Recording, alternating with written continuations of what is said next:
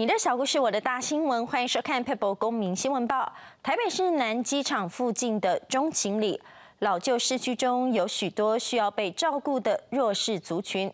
当地的里长方和生创办了食物银行，让需要的里民可以在一定的点数内各取所需。这里是位于台北市中情里老饕们熟悉的南机场夜市。很难相信，这个社区却被誉为台北市中弱势族群最多的贫民窟。然后我的中低收入户、低收中低加起来也快三百户，我的残障人口零九残障手册的也快六百，然后我的大陆新娘、越南新娘的加起来快四百，单亲隔代教养，连南机场一个里的周边十个里加起来，没有我一个里多。我们的量太大。他是中情里里长方和生，每天忙得跟战斗陀螺一样。尽管所有人眼中的南机场面临如此残酷的现实，但方和生却透过他的坚持，一步一步展开扭转老旧社区破旧命运的伟大计划。认真的切菜、洗菜、煮菜，这是中情里中别具意义的共餐送餐制度。共餐跟送公共餐跟老的餐，就是互相产生信赖，跟他产生关怀。透过这样，你相信社区，当他不舒服的时候，我们可以真的帮到他。打破外界对中情里弱势者的既定印象，他们透过自助助人的方式，在社区里成立食物银行。那这边是那个南机场幸福食物银行，那就是除了吃的食物之外，我们这边也有一些生活用品啊等等的东西。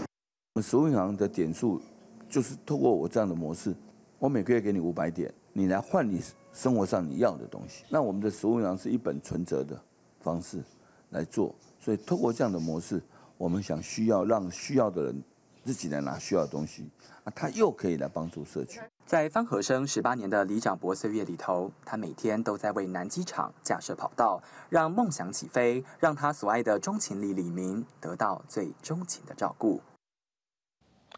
新竹市是许多高知识分子聚集的科技城，一群有心人士几年前开始透过文创市集的方式，希望为新竹增添不一样的文化气息。而今年，他们更扩大举行了白色夏天市集。新竹市有三高：高学历、高收入、高消费力，但常被戏称为文化沙漠。因此，数年前，一群热心文化人士在世界街与大同路。办理了文创市集，并取名为“世界大同城市共好协会”。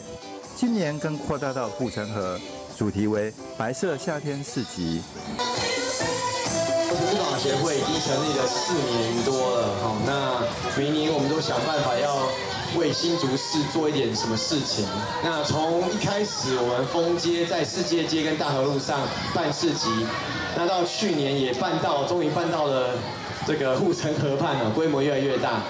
那我觉得我们只是很简单的一份心情，就是让新竹市更好、更棒，这个城市更好、更棒的一群努力的各行各业的精英们哈。我们希望能够做一些事情，为新竹一起做一些事情，那让新竹不要被再称为是一个文化沙漠。